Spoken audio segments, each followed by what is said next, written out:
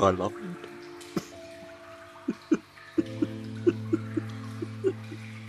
Dad, I know I promised you I was coming home.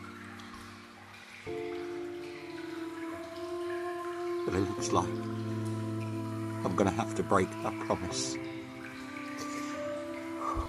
I've fallen from a cliff and I think I've broken both of my legs. I've got no signal out here. And I'm out of food and water. I don't know how much time I have. But I'm leaving you this message. I lied to you when I said I didn't want to be like you. Because I am like you.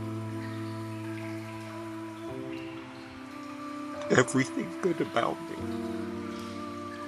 And not from you.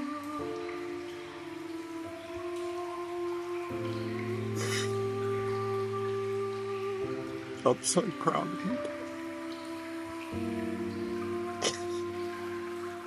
I hope you're proud. I'm not scared now. I'm okay with this. This is how I die. We live by the choices we make. Remember you told me that? Ironically. Eh?